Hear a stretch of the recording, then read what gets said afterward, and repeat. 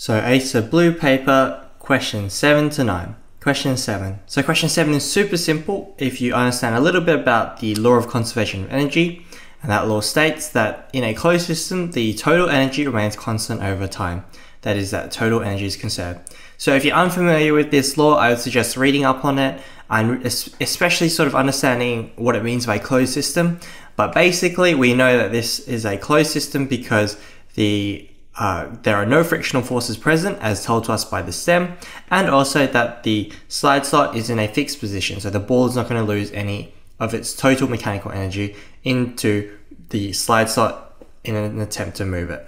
So therefore we can say that since this is a closed system the total energy will remain constant over time and therefore the correct answer is C. Question 8. The decrease in gravitational potential energy of the ball as it slides from point R to point T is closest to. So finally, uh, change in gravitational potential energy, we use the following formula. So gravitational potential energy is equal to the mass times the gravity times the change in height. Um, so basically, from there, we have to find out the change in height.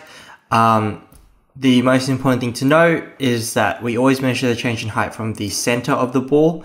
So, um, but once you know that, it's pretty simple. So if we're measuring it from the center of the ball, um, we go, it is one plus six. So therefore seven centimeters. So that is our change in height.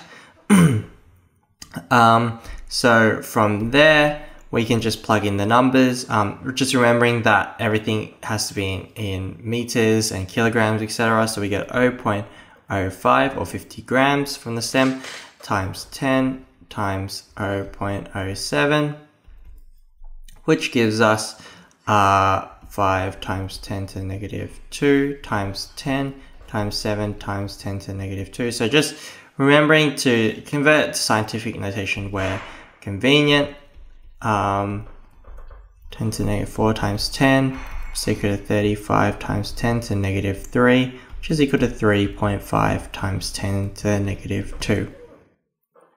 So therefore the correct answer is C. So question 9. Question 9 is pretty similar to question 7. However, the only difference is that the slide slot is now no longer in a fixed position. It can move freely horizontally along the table. So how does that affect uh, the total mechanical energy of our ball? Well, if you take a look back up at this diagram, well, our ball is still going, going to go down and some of its energy is going to be converted into kinetic energy. It's going to lose some of that gravitational potential energy.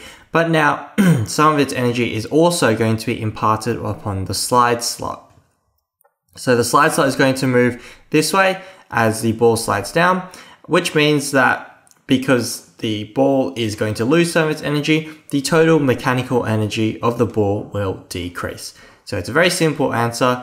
Um, it's sort of just, again, applying that sort of knowledge of what a closed system is and therefore how that's going to affect the total mechanical energy of that ball.